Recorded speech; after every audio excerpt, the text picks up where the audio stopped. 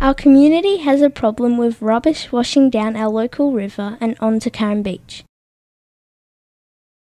A volunteer organisation called Carrum Beach Patrol meets monthly to collect and sort a variety of recyclable and landfill items from our beautiful Carrum Beach.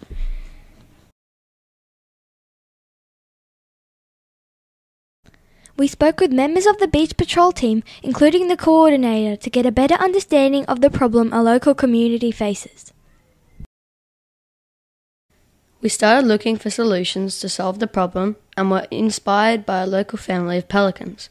We were particularly interested in their large mouth and its capacity to scoop up fish from our local waterways. Using the pelican beak as our inspiration, we decided to design a drone with a special scooper mouth that would collect small plastics from the surface of our local river. We also needed to protect the drone from water damage, so we visited the Royal Melbourne Botanical Gardens and discovered the lotus flower leaf that repels water from its surface. We also wanted our drone to be able to spot small pieces of rubbish and were inspired by our local tawny frogmouth owl that has enhanced vision to spot the tiniest of creatures.